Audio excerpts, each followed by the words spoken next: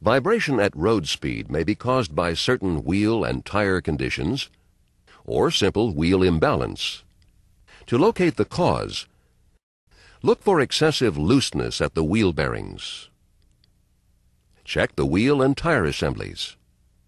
Pay particular attention to physical conditions such as irregular tread wear patterns, sidewall damage, and damaged rims. Most wheels will react to as little as one half ounce of imbalance. As the imbalance increases and or vehicle speed increases, the wheel will begin to shake up and down. This shaking may be transferred directly to the passenger compartment and steering wheel.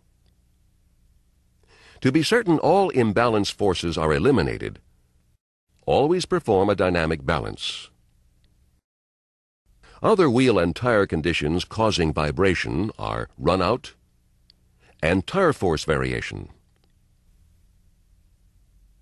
When you combine runout at the rim, runout at the tire, and then tire force variation, it's possible to have as much as 45 pounds of total road force variation in the wheel assembly.